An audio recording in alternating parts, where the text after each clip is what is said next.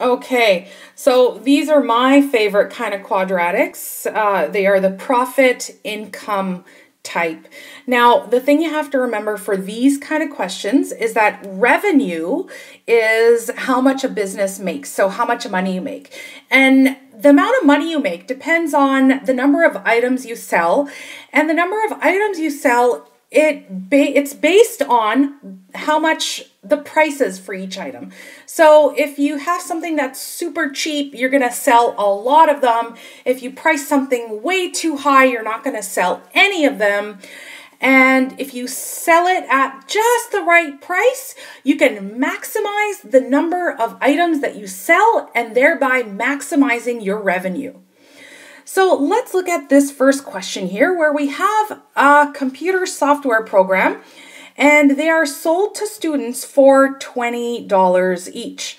So now to set these type of questions, I'm to say set up your $20, your current price. Okay, so this is the current price that you have. Put a bracket, set it up so that you've got two brackets because you know you're to have a quadratic. Now, at that $20 price, you are going to have 300 students buying it at $20. Now, this is where the change happens, where the decision making comes in handy. Uh, we've got a price increase. So for every price increase of $5, so each time we increase the price, by $5. So I'm going to say that's 5x because x is the number of times that you increase the price. Then what's going to happen is there are 30 fewer students that are going to be willing to buy it. So, for instance, if we increase the price once by $5, so then we have a price of $25, then 30 less people are going to buy it. So only 270 people are going to buy it. So the next thing we need to do with this is we need to make this look more like a quadratic. So multiply everything through and see what you end up getting. Okay, so multiplying the two brackets through, we end up with a, I'll just jump here to where it's simplified and rearranged, minus 150 x squared plus 900x plus 6,000. Now, from this point, what we need to do is we need to figure out the x value of our vertex, and that's going to tell us how many times we can increase the price so that we have the maximum revenue. So let's have a look at that next.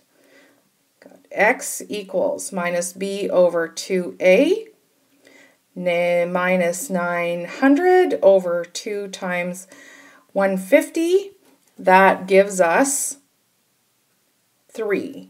I've got a negative 150 there. So that gives us 3. Okay, so now what this tells us is that we can increase the price three times by $5. So our new price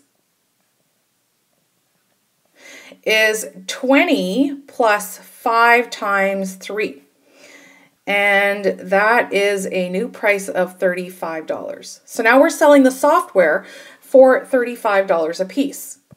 Now that comes with a uh, other side of the question, which uh, tells us how many people are going to actually buy it now. Well, so number of items sold is going to be, well, we originally had 300 and we noted that for every increase in price, 30 less people are going to buy. So in this case, 90 less people are going to buy, and we're only going to have 210 people buying our software. In order to find the maximum revenue, we multiply these two together and we end up getting $35 times 210 people, and that's going to give us a final revenue of $7,350.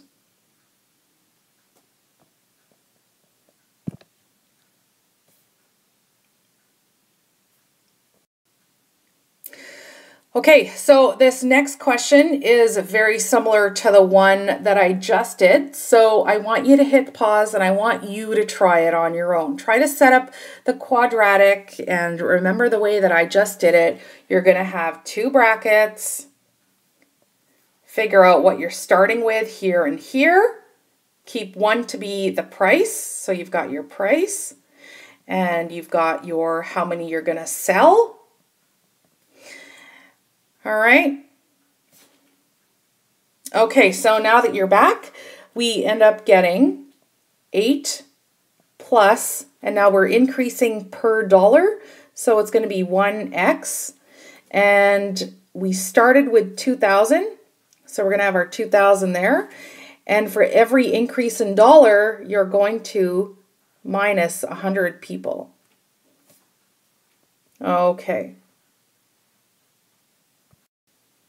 So here is our equation, our quadratic that represents maximum revenue. Um, we need to figure out what the x value of the vertex is from this point in order to know how many times to increase the price. So when we do that, we figure out that the x value of the vertex is 6, and that means that we are going to increase the price six times of $1 each.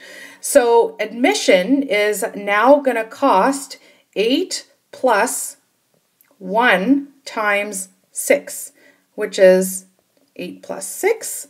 And our admission is now going to cost $14.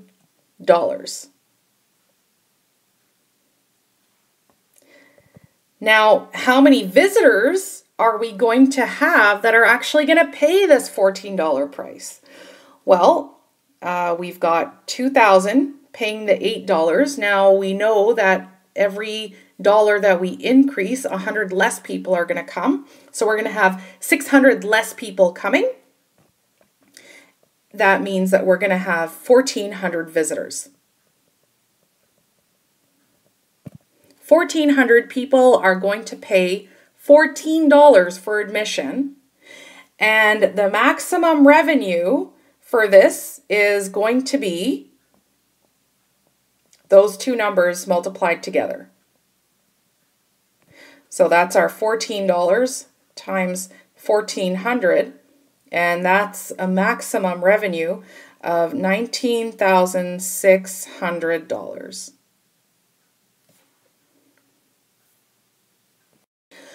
Okay, this question is a little different because it doesn't actually deal with money, but it is still a income profit yield type question. Uh, what we're dealing with here is we're dealing with oranges and an orchard. Now, an orchard has lots of trees. In this case, this orchard has 20 trees per hectare. Hectare is a unit of area. The average yield is 300 oranges per tree. So we start off with 20 trees and they each yield 300 oranges. Now it's estimated that for each additional tree per hectare, so if we add one more tree for every hectare, what's going to happen to the yield it's going to reduce by 10. So we're going to have 10 less oranges per tree for every tree that we add. Now, this probably happens because resources are reduced. The trees have less room to grow, and trees want room to grow so that they can yield more fruit. Okay, so we're going to do the exact same thing that we did before for this question. So multiply it through, get your quadratic, find your x value of your vertex and see if you can get to the final result on your own. So hit pause and then I'll show you the answer after.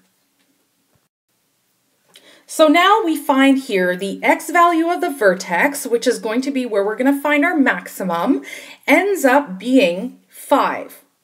That means that we can maximize our yield of oranges if we increase five times. So we increase the tree five times. So we now have how many trees? So we're going to have 20 plus 1 times 5. That gives us 25 trees.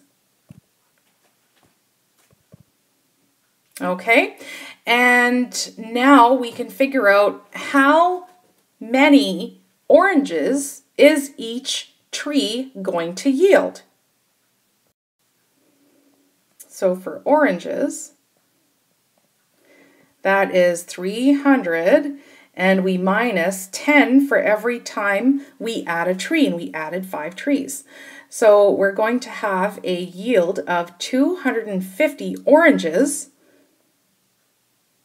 per tree. All right, now that tells us that our maximum yield that we're going to end up with is going to be our 25 trees, and each tree is going to give us 250 oranges, and that's going to give us a final yield for our entire orchard of 6,250 oranges. All right, so here's the best part. Here's the part where you practice lots of questions and uh, make sure you do them, try them. If you get stuck, please make sure you ask questions, okay? Good luck, everyone.